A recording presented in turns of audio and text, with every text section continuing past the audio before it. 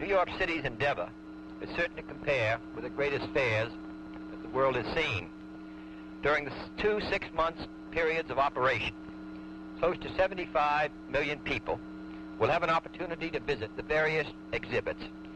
and will have a chance to see what the United States government uh, and foreign governments, what the industries of this country and other countries, most of all what the people of this country and other countries can do,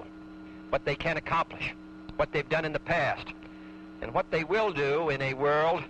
if given the opportunity, to work in an era of peace and understanding. By dialing 1964,